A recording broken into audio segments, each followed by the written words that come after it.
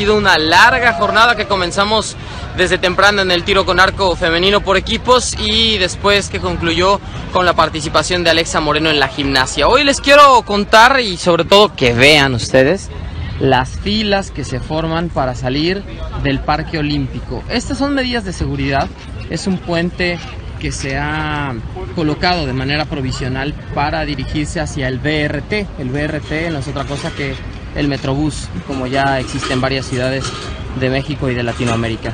Bueno, pues esta es la fila, se coloca desde luego seguridad para evitar que mucha gente esté en el puente al mismo tiempo y haya un riesgo de que se desplome.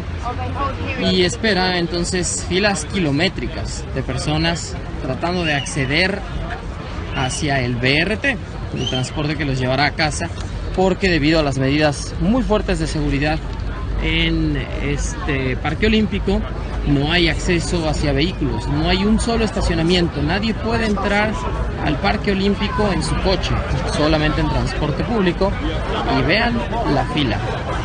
Bueno, es parte de estos Juegos Olímpicos de Río, que desde luego en términos de transporte son una locura.